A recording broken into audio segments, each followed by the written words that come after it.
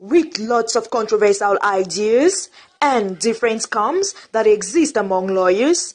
As far as the four days sit down strike put up by lawyers in the north and southwest regions is concerned, whereby some lawyers say the strike is a necessity, others believe there should be no strike since there are no legal documents from the president of the Cameroon Common Law Lawyers Council granting the strike action.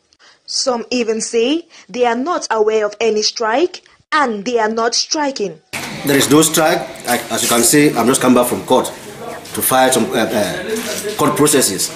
So it goes to tell you that there is no strike. I was in court yesterday. So, uh, first things first, I don't litigate a lot. I'm not a court going advocate like that. So, but I was, I was, I carry out my activities normally. So. Now, here's what Barrister Eta Besong, president of the council, has to say.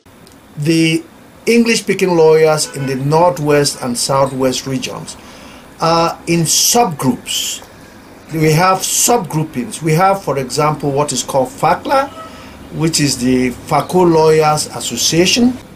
And I understand that the decision is a collective decision of the executives of these uh, subgroupings. So you see, if the president of uh, FACLA, the president of MELA, the president of NUELA, and the president of MALA take a decision that the lawyers in their area should not go to court, well, then it's legal. You know, the English speaking lawyers in Cameroon have a point. Let me be very frank about that. I didn't order the sit down strike or strike or stay away from court. No, I didn't.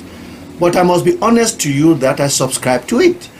He further throws more light on the resignation of Barrister Bobga Harmony, who is still the secretary of the Cameroon Common Law Lawyers Council. He resigned, he says, from uh, being a representative of the president of the General Assembly of the Cameroon Bar for the Northwest region.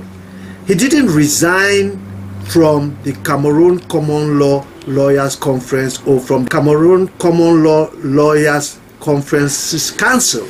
Thus, with all said and done, lawyers say they await for the actions that will be taken by the hierarchies as far as the marginalization of the common law is concerned.